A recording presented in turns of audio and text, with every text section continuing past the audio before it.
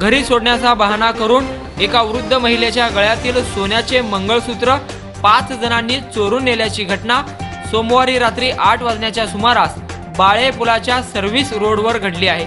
या प्रकरणी राधा मनोहर बंडगर वय पासष्ट राहणार जागृती शिक्षक सोसायटी शिवाजीनगर बाळे या वृद्ध महिलेने दिलेल्या फिर्यादीवरून अज्ञात दोन महिला एक मुलगी व एक पुरुष अशा चार जणांविरुद्ध फौजदार चौडी पोलीस ठाण्यात गुन्हा दाखल करण्यात आला आहे. फिर्यादी बनगर या वडाळा येथील शेतीचे काम संपवून बाळे येथील पुलाजवळील सर्व्हिस रोडवर थांबल्या होत्या. त्यावेळी एका पांढऱ्या रंगाच्या कारमधील चालकाने त्या वृद्ध महिलेस आजी कुठे जायचे आहे? मी आपल्याला कारमधून सोडतो असे सांगितले.